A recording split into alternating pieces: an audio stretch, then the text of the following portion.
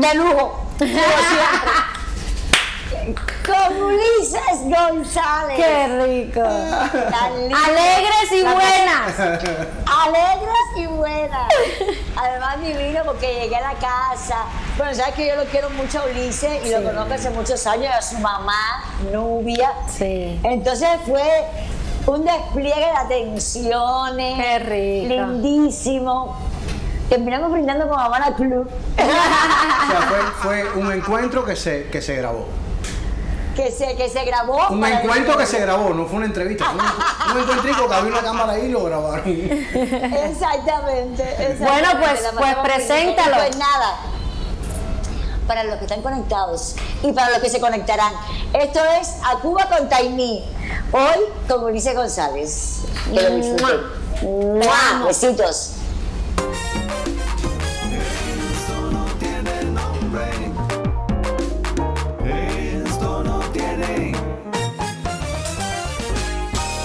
Hola, ¿cómo están? Bienvenidos a, a Cuba con Taimí. Yo como siempre les digo, yo de lujo, ¿qué les puedo decir? Miren con quién ando hoy. Nada más y nada menos que con el gran actor y gran amigo Ulises González. Mi Uli. Mi amor. Gracias por estar aquí. Gracias por acceder a esta entrevista. Feliz de tenerte en mi casa, para mí es un acontecimiento. Y para mí estar aquí también es mucha, de mucha alegría. Y yo a ti, el cariño mutuo, los conocemos, di- digamos que de toda la vida. Ulises y yo somos muy buenos amigos y hemos vivido muchas experiencias juntos. Sí. En, en- en Colombia, Colombia. que estuvimos, yo estuve 10 años en Colombia y tú, bueno, pues, Ya, casi mucho tiempo. Tú eres, 16 años. les cuento que Ulises es mitad y mitad, mitad cubano, mitad colombiano. Así mismo. Eres eh, Eh, 50% Colombia, 50%. 50%, Aunque en realidad me siento más cubano porque yo nací aquí, me crié aquí, hice la primaria, la secundaria, el pre, la universidad. Claro, una etapa importante en la vida. Y ya después, ya después que terminé la ENA, partí, luego regresé de nuevo, tú sabes, ¿no? Esa, Como los buenos amores, regresé que siempre Y regresan. después volví, que fue cuando nos Cuando nos encontramos. Tú fuiste muy jovencito, cuando era, era muy jovencito, estabas en Cali, ¿no? Estuve en Cali estudiando en la Universidad del Valle, eh, recibiendo clases en la universidad con Luis Alberto García, Ernesto Tapia, eh, Jorge Ferrera también fue Ay, profesor Jorgito mío. Ferrera. Ellos estaban en Colombia en esa época, fue una etapa maravillosa. Uli, como dice el colombiano, el buen hijo siempre regresa a casa, ¿no? Sí, sí. Y así siempre te sigue regresando a, a Cuba. Cuéntanos algo, a ver, ¿por qué Ulises? ¿Quién te puso el nombre? ¿Por qué? ¿Cómo salió todo eso? Bueno, eh, no, diciendo, Sí, sí, "No". sí, sí, sí. por, ahí me dije, por ahí me dijo mi, mi mamá que si era niña me iban a poner Raimí. Ay, hubiéramos sido medio tocallas. Sí, sí, sí, o sea, si sido tocaya. niña, y mi. Que creo que es algo de sol en, en, en, en hindú o algo así. Ay, qué bonito. Y si salía varón, como ella, ella había por, por la Odisea, Ajá. entonces me pusieron. Yo supuse, Ulises. no sé por qué supuse que venía por ahí, Sí. por, por Ulises, el famoso Ulises. Uli, ven acá, ¿tú siempre pensaste eh, que, que ibas a ser actor? O sea, ¿lo tenías clarísimo o tenías otro camino y decidiste irte después por la actuación? Bueno, mira, desde chiquitico, desde muy niño, yo, yo me acuerdo que en la casa eh, yo cogía las medias de mi papá y les, pon- les hacía como unos ojos Ah, y, lo- y hacía Como títeres. Y entonces eh, mi mamá y mi papá me ponían las sillas de- del comedor así y le ponían una sábana blanca y le ponían, me ponían luces. ¿Te hacían un retablo? y cuando habían fiestas, me ponían a actuar y yo hacía, tú sabes, hola, ¿y qué? ¿Cómo estás? Oye, qué bonita, no sé qué. me- Porque eres bueno haciendo voces. Me encanta, claro, Me encanta desde chiquitico. Lo otro que tenía era que soñaba con trabajar en, en- en la televisión, entonces yo veía estas aventuras, tú sabes, Enrique Lagardera, el Corsario Negro, la Capitana del Caribe, eh, el Príncipe del Mendigo, el Sí, Príncipe todas eso- aquellas eso. aventuras maravillosas que yo ponían. soñaba con eso y yo soñaba realmente que me metía dentro del televisor. Ay, qué bonito la fantasía de Sí, los sí, sí, niños, sí, ¿no? Qué lindo, no siempre es un se que de Eh, ¿Y cuándo decidiste entonces después de tomarlo en serio y encaminarte a, a, a- estudiarlo? Porque tú estudiaste en la ENA.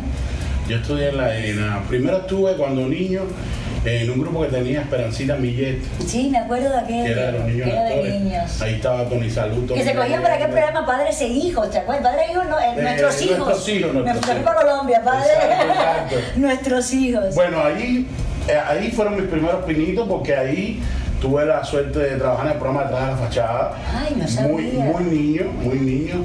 Hacía, hacía el hijo de, de una pareja de, de- de la comedia. yo no sabía eso. Sí, sí, sí. Eh, trabajé con Vázquez Gallo.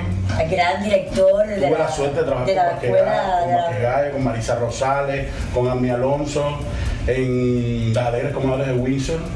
Éramos los duendes. Tú sabes, para mí eso era una en el estudio. Claro, imagínate un Pero niño. tengo, tengo algo muy especial. Tengo un sueño de pequeño. De, yo acompañé, yo, yo tenía de vecina una actriz que se llamaba Rosario Carmona. Ah, claro, la que hacía de la que Cuca- de la fachada. Ella, ella era la que me llevaba con ella, eh, pues sí, como con el niño, ella me llevaba todas las filmaciones, yo me sentaba ahí, yo veía toda la tras escena, yo veía a Baldomero Peláez, al otro, a, a- a- a todos ellos preparándose para las escenas, porque eso era en vivo, además, para mí era una cosa muy mágica. Ella me llevaba maquillaje, y un día me fui caminando por el pasillo solito y abrí la puerta de un estudio. Eso nunca se me olvida. Y de pronto entré y me senté calladito así. Y había un barco montado y estaba Susana Pérez en la punta Ay, Dios mío. haciendo, creo que era la capitana del Caribe. La capitana del Caribe. La capitana del Caribe. Y, y vi cómo, estaba, cómo grababan y todo. Ay, Y yo, fíjate, yo calladito, yo no dije nada, yo, hasta que de pronto vino un hombre y me dijo, oye niño, ¿qué estás aquí? No, no, no, para afuera, para afuera. Pero el olor al estudio. Ay, sí, porque los estudios de televisión tienen un olor eh, peculiar eso, que se queda. eso, eh, la sensación, las luces, el fondo del, de- del, del cielo, el mar, la- los efectos, Ay. y aquella chiquita llorando, Susana, que era una niña, bueno, no una niña, pero Una muchacha. era una muchacha, era una muchachita, y tan linda, porque era, era una princesa, una cosa así. No, tú me estás haciendo este cuento y ya lo estoy en el barco, el olor a No, yo mar. no, esto es lo mío. Esto es lo mío. Esto es lo que yo voy a hacer. Yo no quiero otra cosa en mi vida. Claro, si no, fuera, si no fuera actor, ¿qué, qué se te ocurriría hacer? Actor. o sea, actor. favor, Actor estudio. De volver a empezar y soy actor. Sí, sí, sí, encanta. cuéntame para ti, ¿qué, qué para ti un día eh, especial, un día perfecto, digamos? ¿Qué es para ti, qué es para ti un día perfecto? Bueno, mi día perfecto sería levantarme por la mañana. ¿Pero real o, No, no, no, bueno. o, el, o el perfecto? Porque si te meto el perfecto perfe- en mi sueño, El perfecto, yo quiero el perfecto, realizable o no, yo quiero el perfecto. que sea para me mí, levanto por la mañana y me doy un chapuz- un chapuzón en la playa. Ay, qué delicia. Eso es lo primero que hago, la playa, porque o sea, que amo el mar, amo la- el, el- el azul, el mar, Sí, la es que todos los, de me- las islas somos, ¿eh? Los costeños nos encanta el mar. No puedo vivir sin él. Eh, estar con la familia, estar con mi mamá, eso tiene un precio. Tuve tantos años lejos de ella. Me consta, me consta, Sí. porque cuando estuvo en, en Colombia hablábamos mucho de Nubia, Nubia es su madre, que ha sido una madre entregadísima a, a- a su hijo, ha mantenido el hogar súper lindo, estable, y ha Me ha sido apoyado una... en mi carrera. Pe- Pero te ha cuidado increíblemente. Muchísimo, llena, Siempre. siempre dando amor a ti y a todos los- tus compañeros, los que rodean Ulises. Ahí está Nubia, siempre entregando fiesta. ¿Te acuerdas que había arroz, arroz frito que hacía Nubia? Ay, no. Nubia siempre tenía la casa llena de gente, invitando gente, amigos de Ulises, gente del ballet, sí. teatro. Y las fiestas. Las comelatas eran Fiesta espectaculares. Eran fiestas históricas. Se el 24. esperaban, se esperaban las fiestas de ¿Cómo te la Nubia. Sí, la Ouija. Mira, mira que tú eres supersticioso. Un poquito. Un poquito. Qué descarada Yo que soy un poco. Ya no a tanto, ver, pero dime. antes. No, yo sí Mira, por sé. ejemplo, yo puedo estar frente, frente al malecón y de pronto ver un barco que pasa y digo, si antes de que yo piense lo que yo quiero, la punta del barco toca el sol, entonces se va a dar. Ay, si no, yo hago esas cosas. Mira, eso me gustó. Eso me pasa. Y tengo varios ejemplos, pero bueno. no- no- Ya, sí, sí, no, pero Tentario de la Ouija, después del tiempo de la Ouija. ¡Qué miedo! Aquella época que jugábamos Ouija, que miedo nos dio después. Uli, cuéntame qué estás haciendo, algún proyecto. Eh, bueno. Bueno, espérate. Primero que todo, quiero, quiero, quiero decirles que Ulises, eh, o sea, A ver, yo te iba a preguntar, ¿tú crees en la suerte? Porque esto que te ha sucedido tiene que ver con la suerte, pero tiene que- también que ver con tu talento y con la manera de, de- de agarrar la- la- las cosas en el momento en que se, pre- en que se presenten. Sí. Pero crees en la suerte para después eh, explicarle a los amigos en qué estás. Yo creo que, y eso lo hemos hablado contigo, hay un porcentaje de suerte, de talento, por supuesto, y un poco de deseo. El deseo es fundamental. Yo también lo creo, el deseo. La proyección. Sí, el deseo. Desearlo y eh, son y- energías que van abriendo Sí, sí, barreras sí, y te enfocan, ¿no? Exacto. Entonces, no sé, mira, cuando yo, cuando yo era pequeño, eh, tuve la dicha de conocer a una actriz que se llamaba Idalia Reus. Sí, gran actriz. que mi- era amiga de mi abuela también.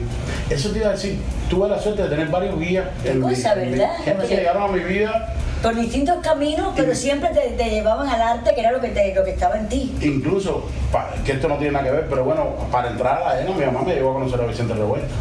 Y yo fui con mi mamá a la casa, ¿entiendes? O sea, que tuve... Sí, no, que momentos siempre te empuje. Sí, pero bueno, esta señora Idalia Enreu, cuando, cuando yo le dije, no, yo quiero ser actor, yo era un muchacho, yo tenía 9, 10 años. Entonces ella me dijo, bueno, ¿quieres actor? Te voy a, dar- te voy a dar un libro para que, lo, para que me lo leas, para oírte. Eh, Sí, leer". oírte. Y entonces ella me lo sacó. Y era, esta- este, el eh, ¿cómo se prepara un actor? Stanislas, en francés. Y yo le dije, pero esto está en francés. Y me dijo, ah, pero tú no sabes francés.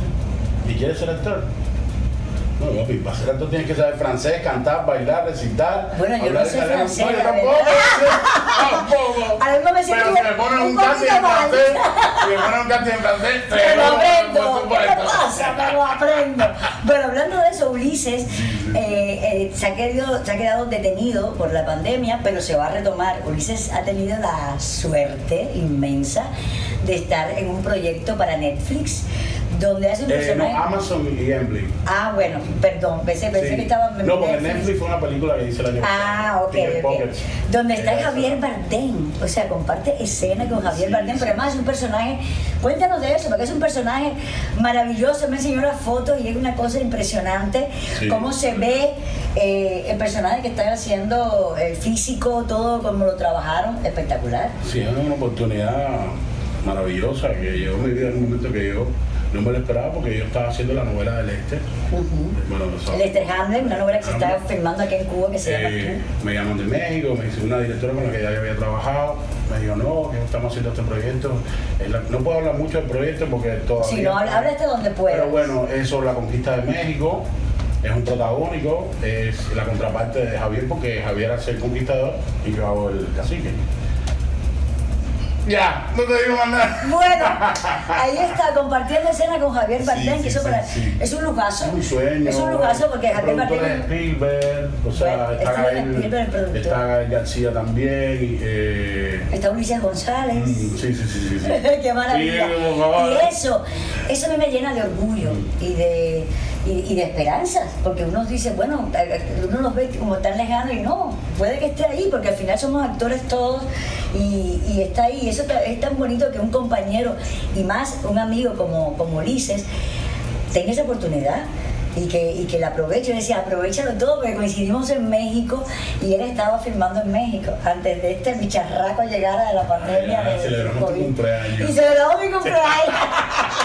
Con Laura Ramos. Con Laura Ramos. Sí, sí, sí, sí, sí. Así mismo. Uli, dime algo de labores domésticas, tele.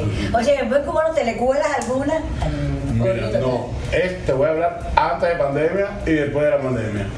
Porque yo no sabía hacer nada, pero ahora Te tocó. me tocaba hacer todo. Claro. Cocinar, lavar, planchar, aprender a... Y- y rematecillo, lo hace rematecillo. ¿Cómo que se dice? Lo del motor, a, a cebar. cebar, a cebar. Todas esas cosas las hago. O sea, me he vuelto especialista Ay. en cebar el motor, en arreglar desde esto, no sé qué, lo que se rompe, va.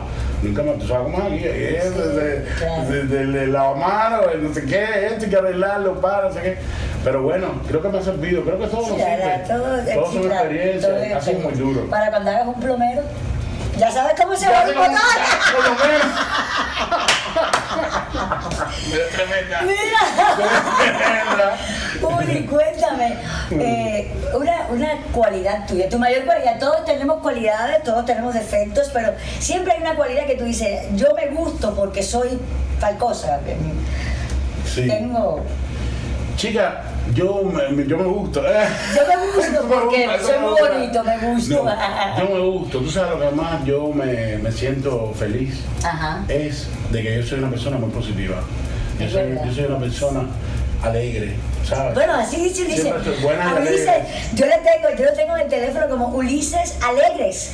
Porque Sí. tú alegres, alegres, es un saludo Ya, tuyo. Exacto, buenas y alegres. Buenas y alegres. la- ¿Cómo se? La, la, la abuela de Yanina, que Manolito, Abel Pero ya- ya eso te identifica Es de esa familia. Y O sea, después yo lo. la lo palabra adopté. alegres, Alegres, te identifica a ti porque ya la gente dice, me- claro, totalmente. Y, y te digo esto porque a veces la gente dice, no, el carnaval va por fuera, el dolor va por dentro, no sé qué. Y de, y de alguna manera, cuando tengo problemas, cuando estoy triste, cuando no sé qué, el- el- siempre aprovecho el entorno para salirme de ese estado y ser feliz. Está muy Ser bien. feliz con lo que tengo, con lo que en ese momento, ¿sabes? Eh, Dios, Dios me da, sí, Es bonito, con lo que va pasando, porque, porque es verdad que a veces uno no se da cuenta y uno quiere cosas y está esperando cosas, no sé qué. Y se te va la y vida. no disfrutas Se te lo que la te está pasando, la oportunidad que te está dando la vida. A lo mejor estás viviendo uno de los mejores momentos y no lo sabes. Y pensando en el futuro. Así como esto. ¿no? Momento, oiga, ¿cómo con Taimí? Sí.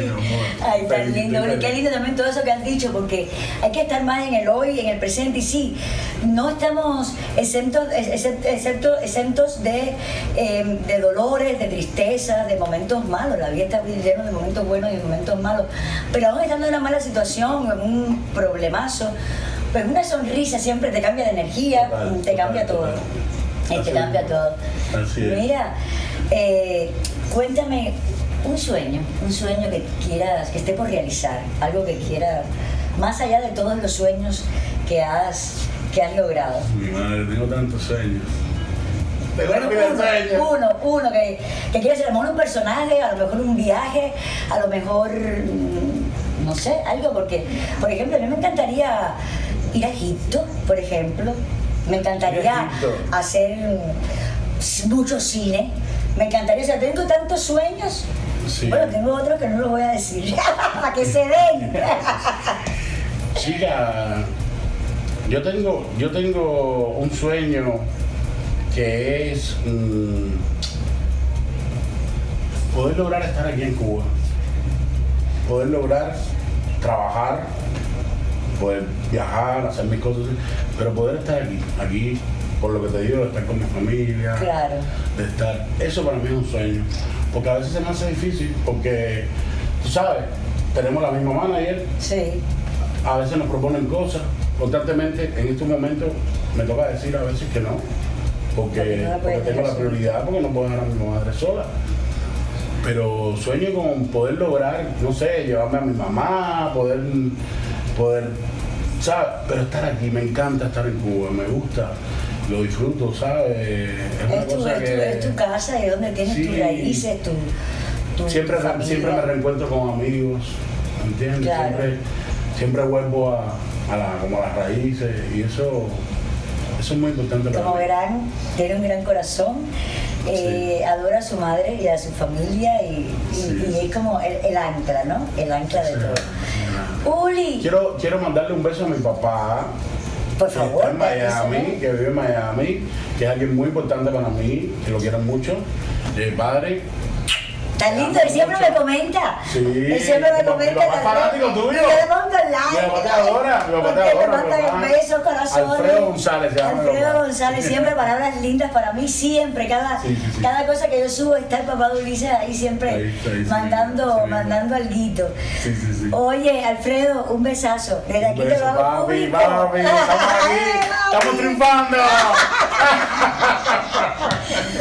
Uli, bueno, nada, muchísimas gracias, corazón. Sabes Gracias cuánto te quiero. cuánto te admiro, eh, cuántas cosas hemos vivido juntos y, y me alegro muchísimo poder... Ni hablar de admirar, tú sabes que, por favor, esto es una, una, una estrella de este país. Para Ay, mí que esté en mi casa es Ay, un acontecimiento grandísimo. Tan, lindo que eres. Dice, bueno, despídete de, de María Carla, de Jan. Te quiero mucho, tú lo sabes, yo Michelle, los adoro. Ferdecaz, Ferdecaz, Ferdecaz es mi hermanito. Los quiero mucho, los quiero mucho, los extraño, cantidad. Y bueno, espero vernos pronto, de verdad. Ahora viene diciembre, vamos a ver. Diciembre, vamos a ver qué pasa con vamos a ver. Sí, sí, Chicos, como siempre les digo, a los que están conectados y a los que se conectarán, esto es A Cuba con Taimí y hoy con Ulises González. Y recuerden que esto no tiene nombre. No tiene nombre.